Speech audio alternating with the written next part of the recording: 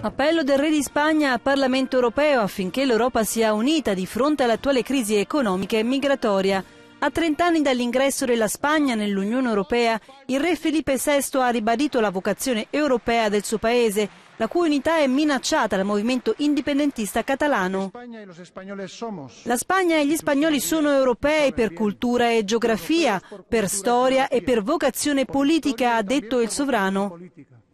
Non è possibile concepire la Spagna senza l'Europa, né l'Europa senza la Spagna.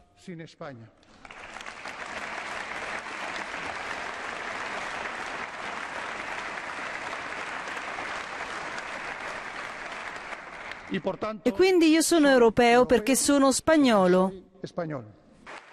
Salito al trono poco più di un anno fa, Felipe ha incitato le autorità europee a combattere la disoccupazione, un problema di particolare gravità in Spagna, e a mostrare più solidarietà nell'affrontare l'emergenza migranti.